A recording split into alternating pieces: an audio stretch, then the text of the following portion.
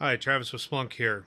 In my home lab, I've upgraded my Splunk Enterprise to the latest version 9.1 at the time of this recording. Now, 9.1 introduced some new features and updated some existing support to exist, you know, to existing features. One I want to talk about is the dark theming, or I'll call it dark mode, where you can see I have it enabled and how do you enable that? You go up to your username. I'm logged in as administrator. Click on preferences, find the theme. And then there you get, uh, when you click on the drop down menu, you get three options. I've got dark already selected and click apply. With this, you know, updated support, if I go into the search and reporting app, it is now in that dark theme, which I do like the theme mode, dark mode, a lot better. It's easier on my eyes. And when I was kind of flipping around through some of my other apps, I noticed that they were not incorporating that setting. Now, before I go in any further, if you want to learn more about, you know, the new releases and what's new in those, go out to docs.splunk.com slash documentation. If you're a on-prem you know user like myself, you go into Splunk Enterprise. For if you're a cloud customer, you can go up to cloud platform. But I'm going to go into the Splunk Enterprise here underneath platform and click on release notes. From release notes, I'm going to get you know how to upgrade, you know what's new, and that's where if you start scrolling down, you'll see that theme supporting for a search and reporting app. Also in 9.1, there was some quality of life uh, updates to Dashboard Studio Builder that I'm excited about. I'm going to record another video and talk about that in another video. So here again, you know, dark mode, if I go to one of my apps that I've built for myself, it's still in that light mode. And that's because I have not enabled this app to support that theming and that's where I'm going to go in and show you how to update your custom apps, the apps that you've built to support the different themes. And when I was trying to figure this out and why the app wasn't supporting the theme, I found on our dev.splunk.com website, which if you haven't seen Splunk Dev, this is a great site with a lot of uh, articles to do some of those advanced and cool things inside of Splunk. Here, I do have an article that helps me update my app to support the different themes. However, this uh, this article may be a little out of date because it's talking about you know Splunk Cloud Platform version nine and up, and says and it says that Splunk Enterprise cannot select a UI theme. I've actually got this enabled on another app that I've built, and it works.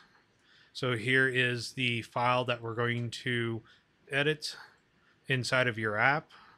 Uh, the article says you use the go underneath the default folder.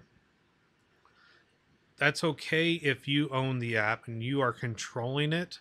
But if you're getting this from someone else, you may not want to edit the app.conf file under default. You may want to go to local, and that's what I did with my other app and then it just goes into you know other you know if you want to update custom javascript and whatnot but i'm just going to go in and edit the app.conf file show you that and then restart splunk to take the effect. And if you need to you know if you want to read more about app.conf file easiest way go out to your favorite search engine look up splunk documentation app.conf. It'll take you to this article to where you can look at all the different settings for this configuration file. So now let's switch over to my terminal here that I've already logged into my Splunk indexer. You can see all the different apps that I have installed. And I'm going to jump into the search app. And then I'm going to jump into the default folder. I'm going to do a more on app.conf. I am running this on a Linux instance right now. I mean, if you are a Windows user, you know, you can just go and bring up File Explorer and find the same files that way. But I am in you know running my Splunk Enterprise in a Linux environment. Now, when I do this more on app.conf, you can see that in the search and reporting app, there is the supported themes. And I'm going to copy that actually. So all I'm going to do is highlight, right click, and, then control C. So it won't do anything with that. All right, now I'm going to back up and I'm going to say OPNsense. You know, I could go into the default folder like the article in dev.splunk.com says, but instead I'm going to go into my local folder because I never like to edit anything in default. I'm going to say that again, just because if you don't control it, you download and update, it can overwrite the, the customizations that you've created. So in here, I'm going to do an ls, and you can see I do have that app.conf file there. I'm going to use vi. Can't type today, you all are watching me.